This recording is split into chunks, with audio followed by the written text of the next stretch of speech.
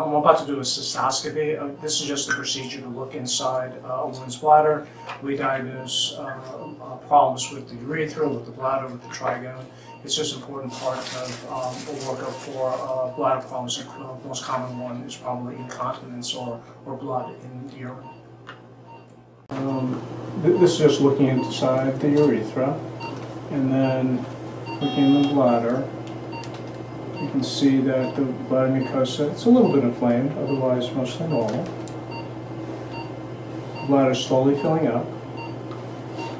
And then if we turn it over, you can see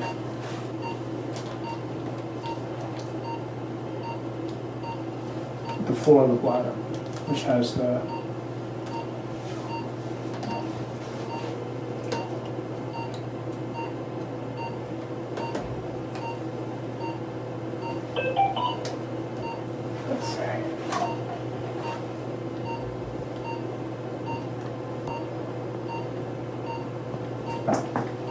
How much fluid is in there now?